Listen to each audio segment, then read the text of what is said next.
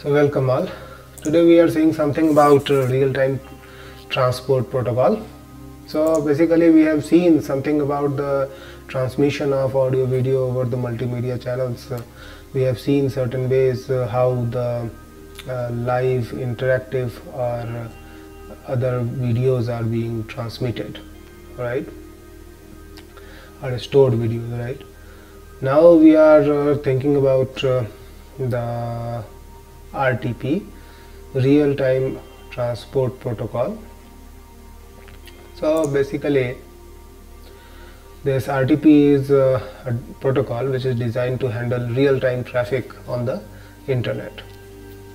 So, as we have seen earlier, that uh, in UDP does not have that much uh, ways to handle these things, uh, which for which um, this RTP is uh, required. So RTP stands between UDP and the application program. So the main contribution of RTP are time stamping, sequencing and mixing. These are the facilities which are which were not uh, available with UDP, right? So the thing is it must be used with uh, uh, UDP. Hmm. So now let us see something about uh, okay we will see the packet format we will see uh, the ports so here uh, you see uh, this RTP stands in transport layer for multimedia transmission it is with UDP in between uh, your application and uh, the other protocol layers. Then let me show you uh, the protocol this RTP packet header format. So in this figure you can see the format of this uh, RTP packet header. So it is very simple and uh, general right it uh, covers all real-time application so an application that needs uh, more information adds it to the beginning of its payload. Yeah. That is the thing. Now, suppose uh, version you can understand it is uh, here it is 2 bit. Let me write. It is 2 bit. P and X are 1 bit each if suppose P is set. It indicates the presence of padding. Uh, it shows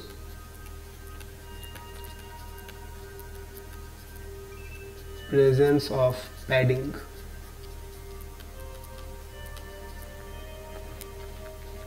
Okay so if there is no padding we will keep it 0 now X. If this x is set to 1 it indicates an extra extension header uh, which is between this header and the data. So x indicates extra uh, I should say extension header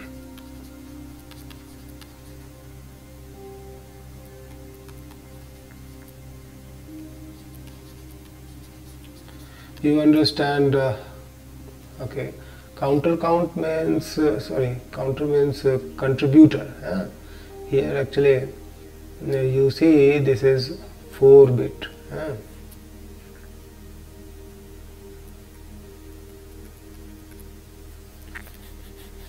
this indicates the number of contributors.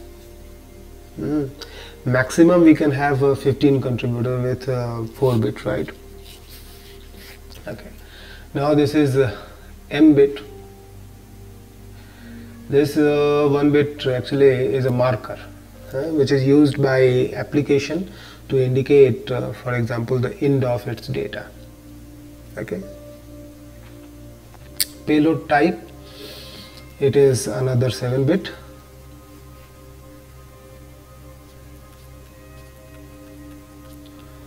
Now this indicates the type of uh, the payload huh? Uh, in the next slide actually we have uh, different types of these payloads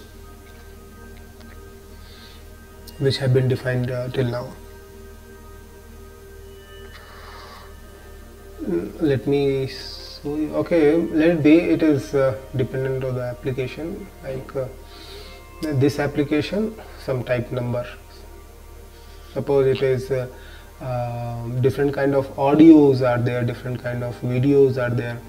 For mpeg 1 another maybe it is 32 mpeg 2 it is 33 some other kind of uh, audios are there. So for them all different numbers are there which can be assigned with these 7 bits.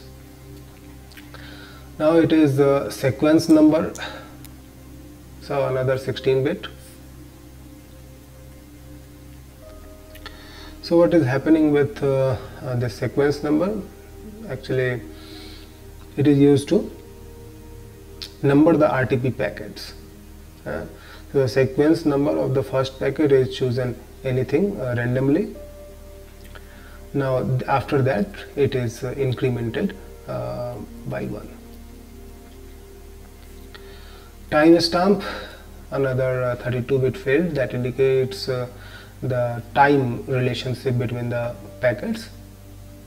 So suppose the uh, timestamp of the first packet will be chosen something some random number and after that it will be incremented every time right? Depending on the time. Synchronization uh, uh, source identifier.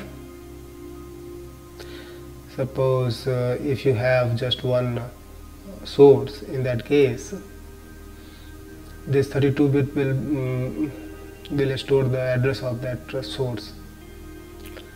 Now if there are uh, multiple source uh, several source are there in that case uh,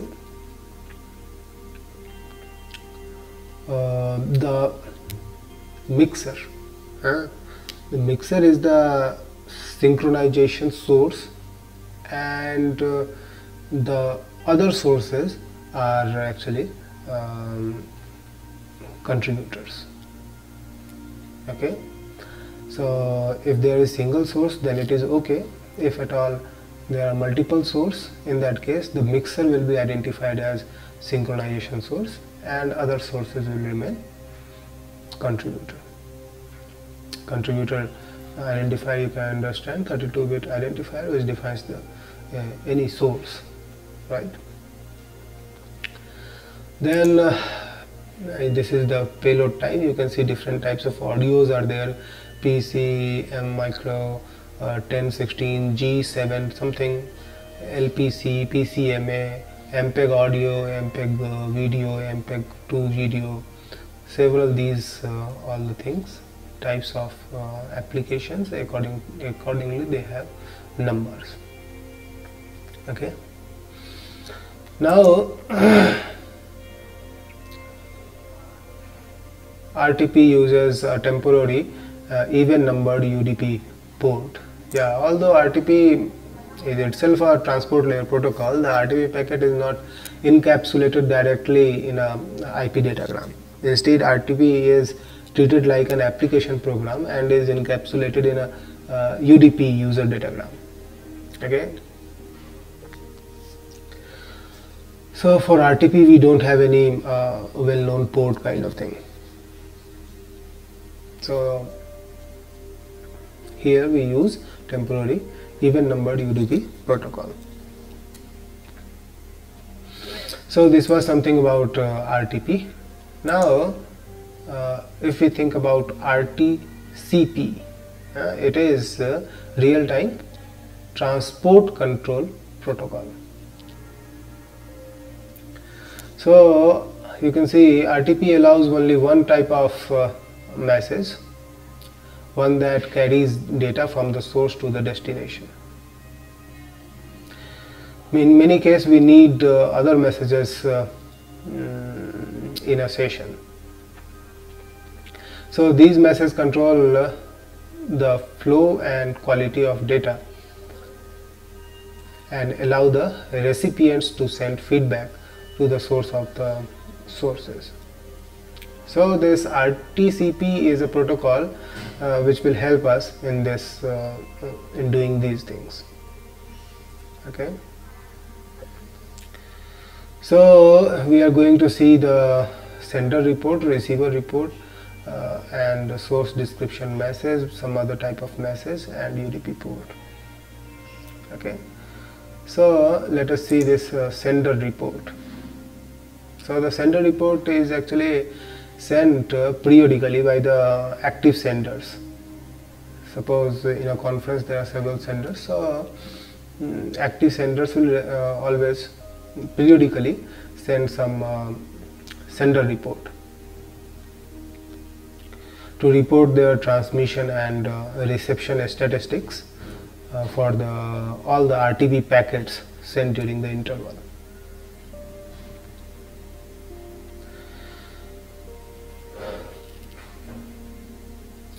This is a sender report.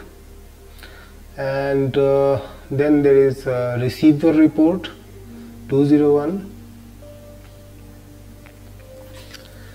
so the receiver report is for uh, suppose uh, passive participation those that do not uh, send RTP packets. Uh, the report informs the sender that uh, other receivers uh, about the quality of service mm. so for that purpose receiver report is used. Source description message. And this is actually uh, what happens the source periodically sends um, uh, this message source description message. Uh, it gives uh, suppose uh, additional information and this information can be suppose name email address telephone number uh, address of the maybe controller owner and source whatever. Hello? So this is uh, other information related to source. There is a bye message what happens? A source sends a bye message to shut down a stream right? So it allows the source to announce that it is leaving the conference. Although other sources can uh, detect the absence of a source this message uh, direct announcement. So if we are using a mixer so it is very helpful um, in that. Mixer can uh, understand that one contributor is not anymore okay sorry.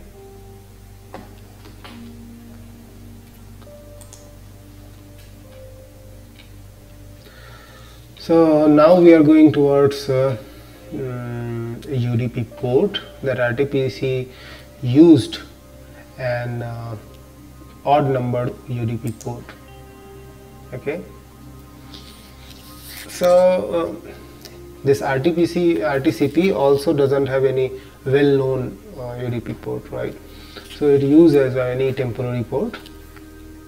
It is odd numbered in fact.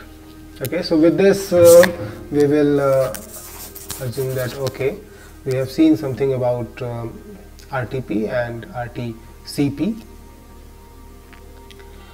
and then uh, in next video we'll try to see something about voice over IP you know?